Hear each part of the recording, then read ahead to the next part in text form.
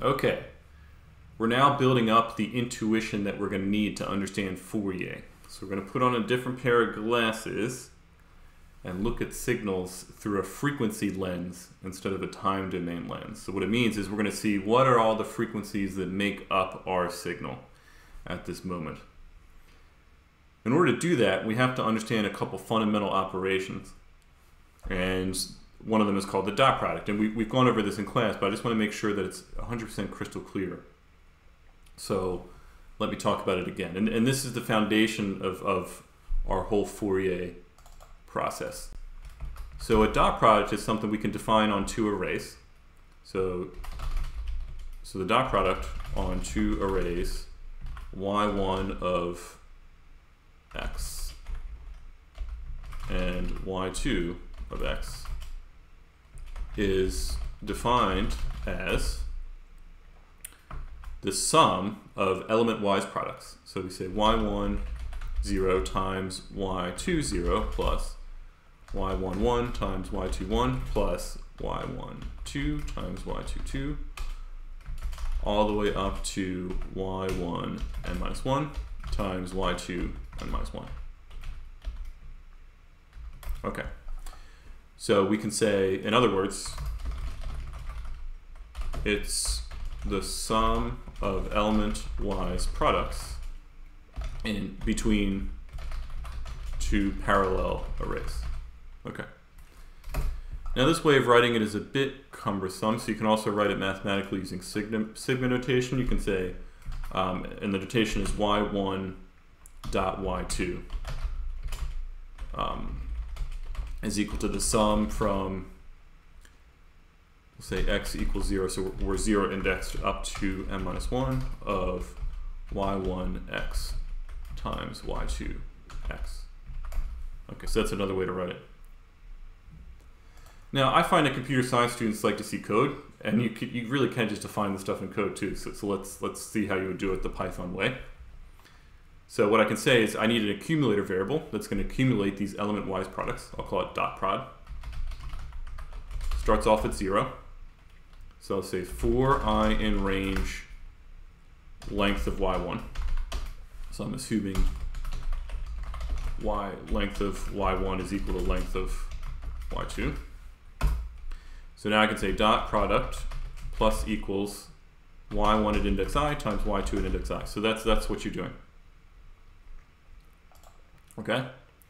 But there's actually an even faster way to do it in NumPy because that avoids loops because NumPy has a lot of nice element-wise operations between arrays like we've seen. So for NumPy, all it is is dot prod equals np dot sum y1 times y2. Boom. So the y1 times y2 creates a new array, assuming that y1 and y2 have the same length. This is going to create a new NumPy array in which each element is the product of corresponding elements of y1 and y2.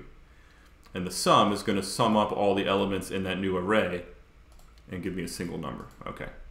So the dot product of two arrays actually gives me a single number, sometimes called a scalar. Okay? So, so just, just a one numerical value. Now this could be defined, this is defined for any arrays y1 and y2, but when we start to focus on arrays that hold samples of pure cosines and pure sines that go through an integer number of periods on an interval, we see something very interesting. So for example, if I take a cosine that goes through three cycles on an interval and another cosine that goes through four cycles on an interval, let's look, and you know, I take 100 samples of each, so my arrays have um, samples of each one of these. Let's see what we get with the dot product. Okay, so here's the first one again. So here I'm just visualizing the elements of the array, um, 100 elements. So there's the one that goes through three cycles of a cosine. Here's the one that goes through four cycles. And I need to do the element-wise products and sum them up.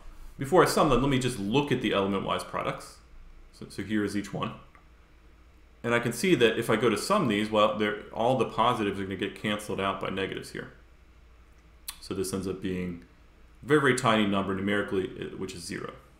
Okay. Um, but if I make them the same, then what I see is actually the element-wise products are always going to be positive because any one that's negative, well, I multiply it by itself. A negative times a negative is a positive, so that becomes positive.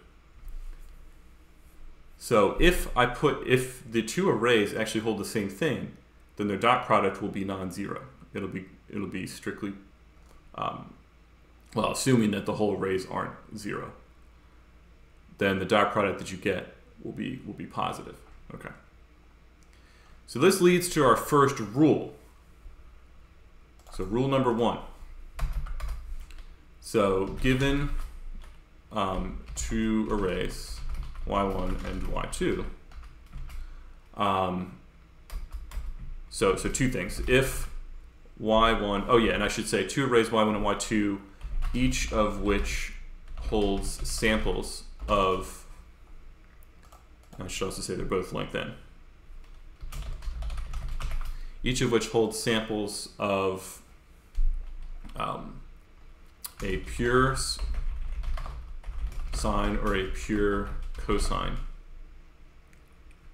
Um, that goes through an integer number of periods, then two things. So one, if y1 is equal to y2,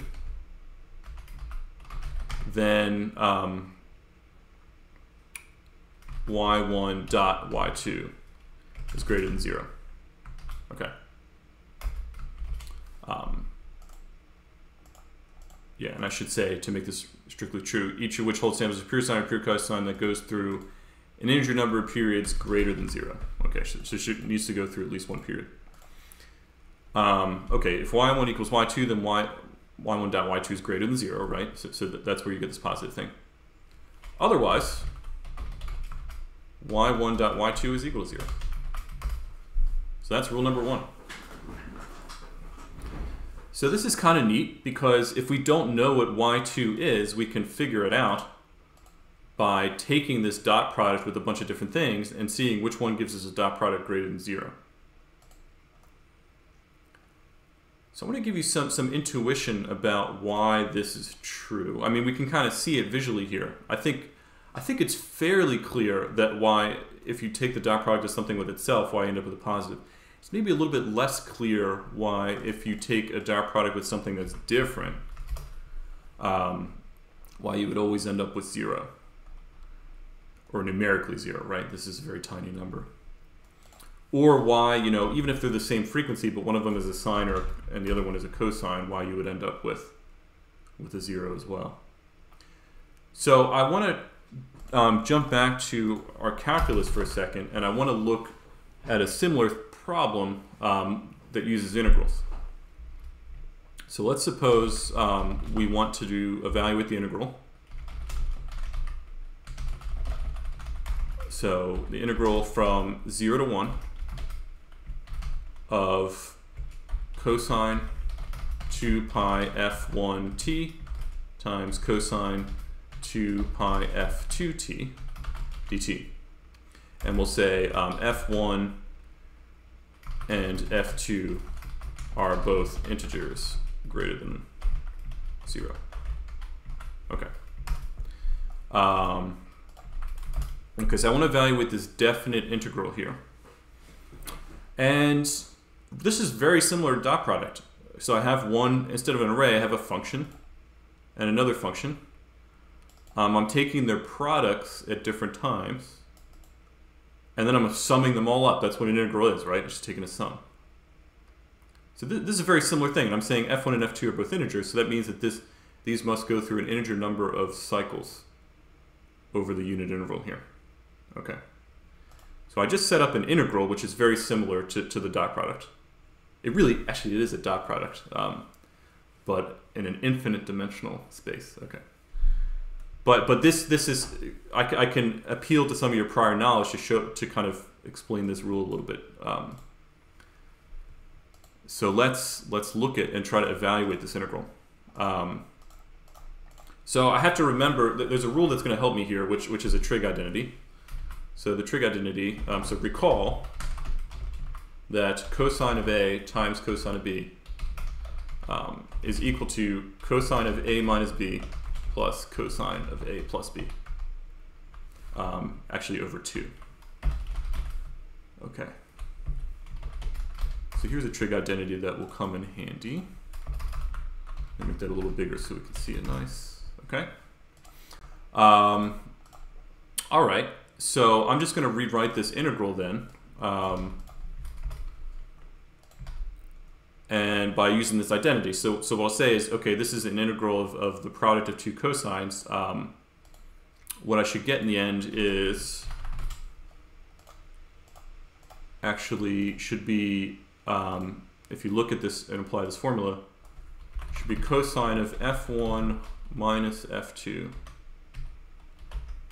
t um, plus cosine of f1 plus f2t.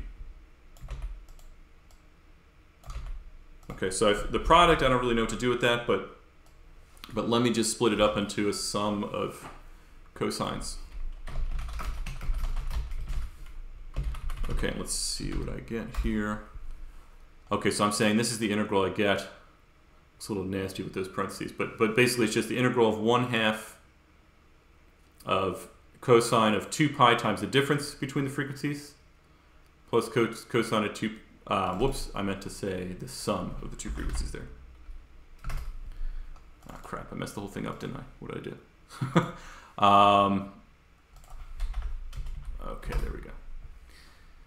All right, so here's the product of two cosines. Here's what it turns into. By the way, this, this trig identity is another way of looking at beat frequencies. Uh, we're kind of reverse engineering the beat frequency. Um, so some of this should look kind of familiar. This, this, like you can think of A as the B frequency and B as the carrier frequency, um, and then and then you start to see some of this stuff. So you can see see in there that the beat frequency is actually um, the difference between the carrier and the and or difference between two frequencies. Okay, anyway, but but okay, sorry, I got got off on a sidetrack there.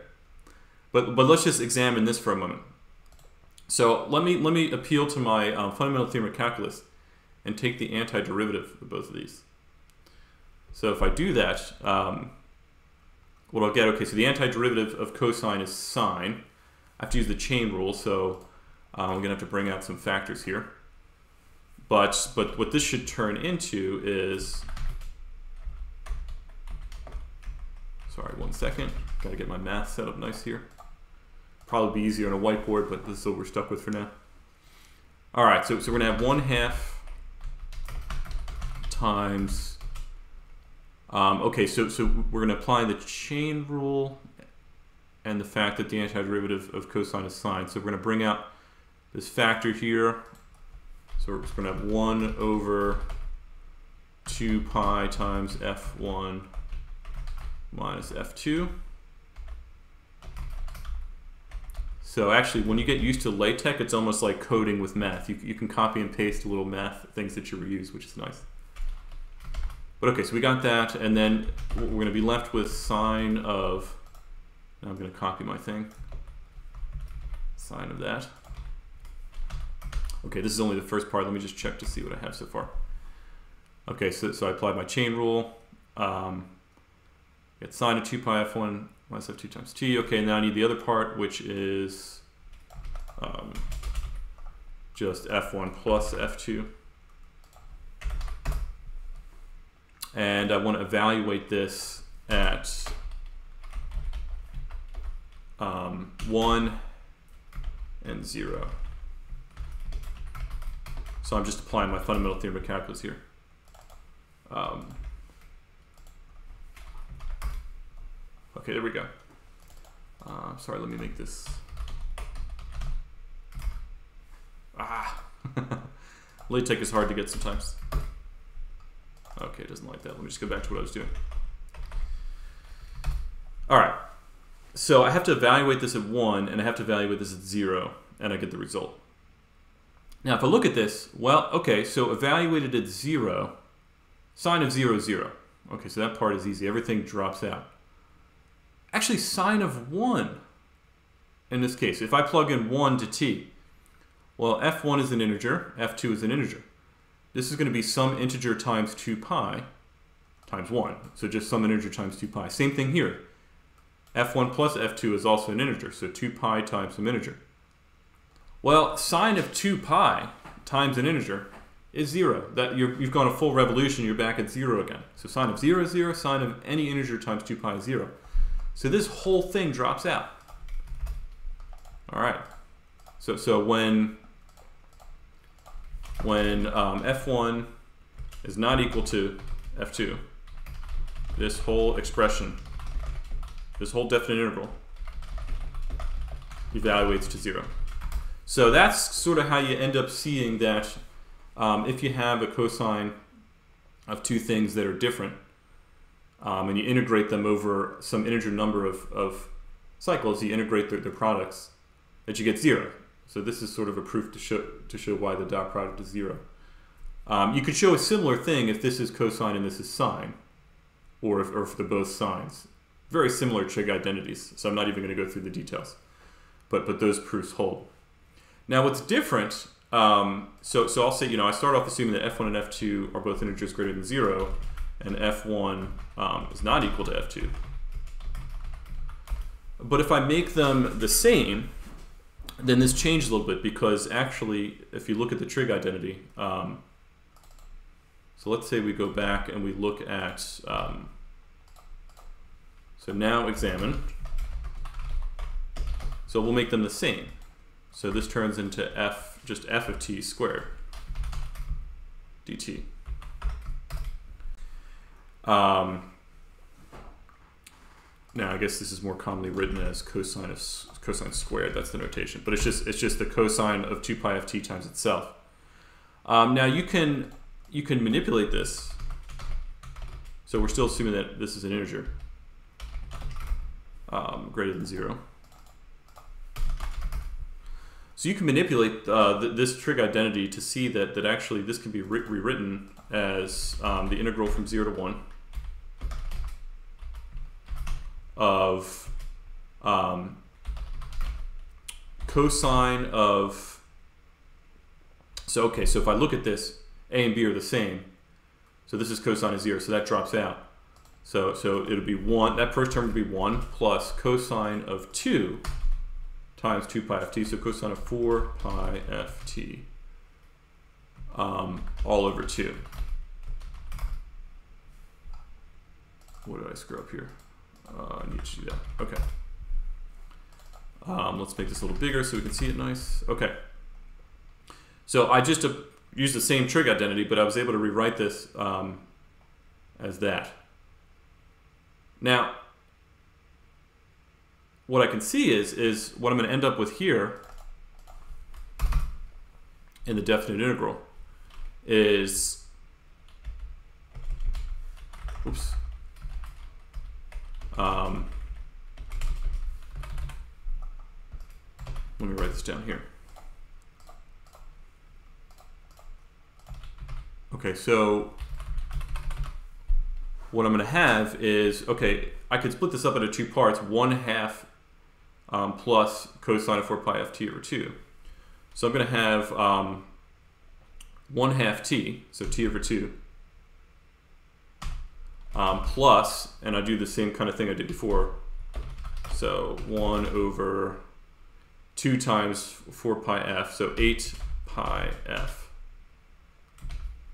times the sine of 4 pi ft evaluated at 1 and subtracted from the evaluation at 0. So this is how I, how I do my definite integral.